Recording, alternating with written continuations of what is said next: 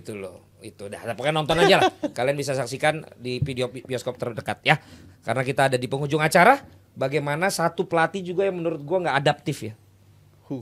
masa pelatih Wolverhampton ngelepas Hubner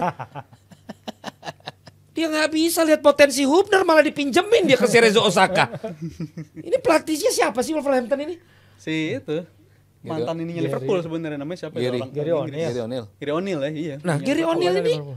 Kok bisa-bisa aja dia ngelepas sepotensi Hubner gitu loh. Mas Haryo. Tawa sambil garuk-garuk. Ya satu masih U21 kan. Oh, wajar dipinjem-pinjemin. Iya, ka- karena dari jam terbang mungkin dia belum bisa dijanjiin juga. Oh. Sementara kalau di Cerezo ya mungkin jam terbangnya akan jauh lebih ini. Ya walaupun mungkin kalau kita bicara Tapi kenapa Cerezo Mas jauh banget? Maksud gua kan divisi divisi Bukan, satu loh. Maksud gua kenapa nggak di tetap ruang lingkup ya kayak misalnya dia bisa ke Kayak Bagot ke Championship, dia bisa ke Liga 2. Kayak Bagot bolak-balik gitu. Iya. Gillingham, Ipswich, Ya tapi kan mana. Bagot berangkat memang bukan dari Premier League. Iya. Dia kan dari kasta Premier League. Ya kan bisa championship itu tetap Iya. gokil loh. Iya, iya betul. Menurut lo kenapa ke akhirnya Cerezo gitu loh? Nggak tahu apa lebih dekat ke sini supaya nanti main tampil di Piala Asia. Nah, itu ya ini ada jawabannya sebenarnya. Ini dari si Pat. Jadi yang melepas itu adalah namanya Steve Davis dulu mantan pemain juga. Tapi dia pathway manager di Wolves. Pathway manager itu orang yang Jenjang. memberikan jenjang jalur pemain ke tim utama. Tadinya si Justin ini emang mau dipinjamkan, tapi musim panas. Tapi dikata dia tiba-tiba Osaka ngubungin, Osaka yang ngubungin bahwa mereka kehilangan Gamba apa Cerezo? ya Cerezo. Nah, Karena dia bilangnya jelas. Os iya, Karena saya ini penggemar Jelik. Apa Naomi? Eh, Eh. itu kan pemain golf. Jadi eh, mereka yang ngubungin, eh, terus mereka ingin meminjam Hubner. Kaitannya dengan eh, in- dengan Indonesia apa yang dan bagaimana Hubner bermain untuk timnas Indonesia melawan Jepang itu juga dikatakan sebagai ya, salah satu alasannya lah. Bagaimana kenapa Cerezo ingin mendatangkan dia dan itu akan bagus untuk eh, market juga market di Liga Jepang dan juga market di Indonesia. Kita juga harus tahu walaupun kesannya memang jauh banget, tapi di Asia itu kan Jepang liga kedua ya sekarang ya setelah Arab Saudi. Jadi itu ada liga yang sangat-sangat bagus. Dan Cerezo ini adalah tim tim yang papan tengah yang dalam tiga dari lima tahun terakhir itu finish lima besar. Jadi memang tim yang bisa bersaing di papan atas.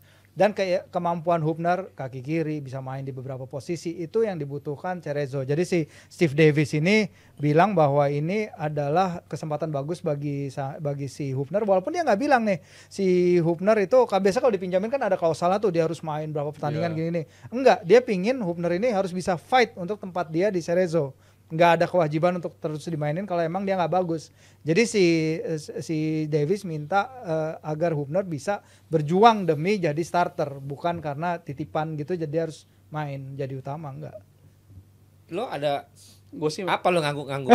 keresahan aja gitu. Apakah dengan dia pindah ke Jelik ini ada away back bagi dia, jalan baik jalan balik bagi dia Away untuk main back. di di liga di liga kompetisi Inggris lagi itu kan juga jadi pertanyaan juga gitu kan. Tapi gue harapkan dengan dia main sebanyak mungkin itu bisa membantu dia lah walaupun walaupun dia mainnya di kasta umur di Wolverhampton juga tapi kan beberapa kali di musim ini dia juga dibawa sebagai substitution. Gue Di bisa jawab League. jawaban lo tadi Yang mana tuh? tentang away back. away back dia ke itu. Iya. Yes. Kalau kita throwback ke beberapa tahun yang lalu, ada orang namanya Arsene Wenger.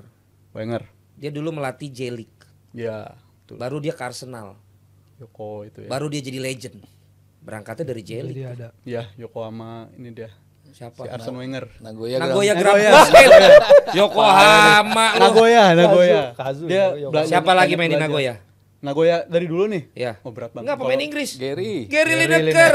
Wah, Ah, dulu ternyata gue bertahun-tahun nggak turun gunung masih tinggian gue. karena nggak pernah ngeliat Lineker main. gua kalau yang tadi itu gue punya jawaban. Mm-mm. Arsene Wenger pun dari Liga Bisa Jepang malah balik ke Arsenal eh malah dipanggil Arsenal Dan malah jadi influential. legend gitu. Yep. Tapi dengan era sekarang lagi-lagi kan gua nggak ngerti deh. Malah kan setahu gua di Liga Jepang tuh kan kontraknya mereka banyak nyuruh mereka ke Jerman kan. Ya, mungkin, Awalnya mungkin nih justru bisa ke Jerman. mereka ke Jerman kan untuk bisa habis itu masuk ke Eropa. Mereka nih bisa punya banyak pemain di liga-liga besar kan karena mereka punya kontrak dengan Liga Jerman bahwa pemain mereka banyak ini berangkatin ke sana termasuk Korea juga. Nah, menurut lo ini eh buat Hubnernya lah dan buat kita di timnas Indonesia is this a good decision menurut kalian? Iya sih, kalau menurut gua as long as it's Cerezo divisi 1 dan tadi Virzi sempat jabarin kan, maksudnya mereka tuh selalu kontender untuk masuk papan atas lah, selalu berada di 4, 5, 4, 6. Sekarang kalau nggak salah 6 tapi cuma berjarak Iya. 2 Walaupun poin. musim lalu dia peringkat 9 ya. Emang. Tengah ya. Tapi Iya. dari 18 tim. Iya, kan? iya. Ha. Berjarak berapa poin dari peringkat satu, maksudnya sekarang mereka juga challenging juga untuk di papan atas. Jadi tim yang bukan tim jelek, tim cukup bagus. Ada dua pemain mereka juga dipanggil ke timnas. Jadi kesempatan untuk bersaing di situ pun, gue rasa ini sebagai sebagai sebuah hal yang positif. Ya. Maksudnya nggak setbacknya nggak terlalu jauh lah. Berarti enggak ya? Nggak setbacknya nggak terlalu jauh.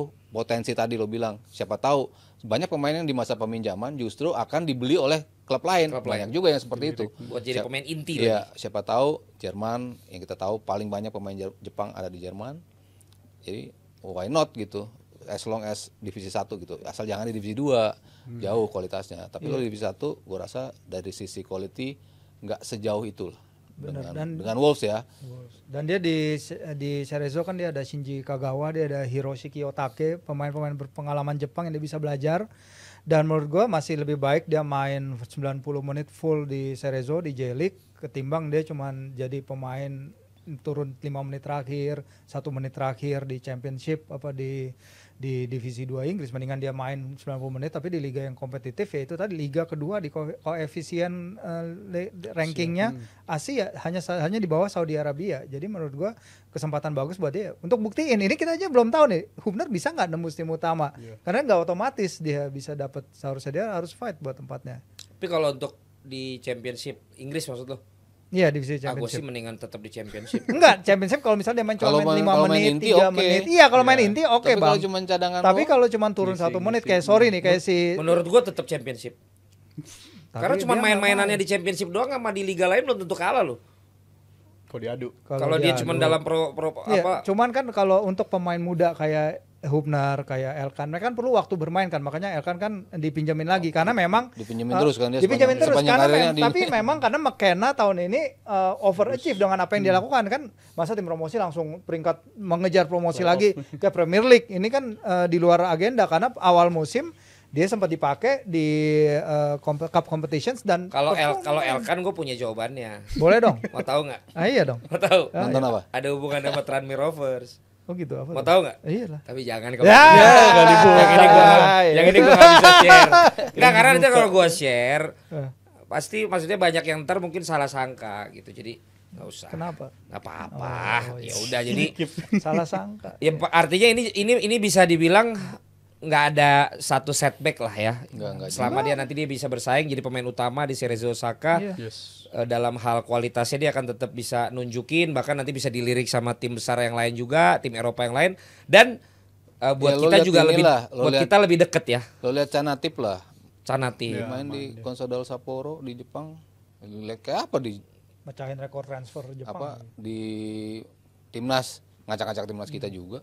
Maksudnya kan di levelnya bisa aja di timnasnya tetap aja dia bisa berprestasi gitu kan. ya penutup Buat Justin Hubner ini menurut gua dengan faktor umur, dengan faktor pemilihan tim, ini wise move lah walaupun Wise move. Ini pemilihan yang cukup bijak. Karena gue yakin dengan standar dia, dia bisa lah nembus di seri ini bukan maunya dia ini orang klubnya Tapi kan ini pasti benefit juga buat dia juga dong. Pasti benefit buat dia dan juga kontraknya juga bukan kontrak Untuk timnas panjang kita. kan.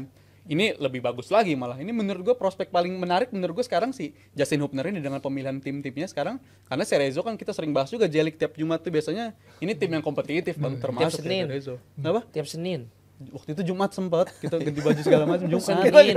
Ada Senin ada Jumat. Kan Justin nggak ada tiap hari Jumat Ih, kita bahas Jelik itu. Di situ. ganti baju dulu. Mas Aryo makasih Sama-sama. Pak Levi Siap.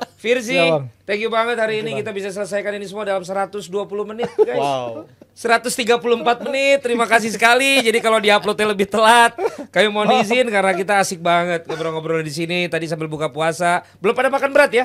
Belum. Ini semua untuk jebret tim dan kami tidak menyediakan makan berat loh untuk mereka. Jadi mereka akan langsung sahur. Terima kasih, kita ketemu lagi nanti di Dewan Punit Indonesia. Terima kasih untuk Sari Mande, terima kasih untuk Awi.